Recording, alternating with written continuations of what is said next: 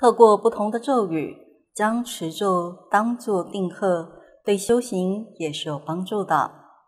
持诵不同的咒语有不同的功德，初学者可以选择相应的咒语来持咒。乐禅林住持兼受法师开示，每个人都可以依相应的法门来持咒。刚开始学佛，或许时间不太多，能够以咒入门，更容易上手。如果你觉得呢时间没有那么长，可以读诵一部经，那么我们就可以先持这个灭地验真言，或者呢，你觉得哎你在所修的一切的这些善法功德当中哈。包括了你这个每天的诵经、持咒、礼佛、拜忏啊，行持一切的所有的这些的善法的功德，我们可以把它集结起来，你就可以做一个，譬如说做一个总回向啊，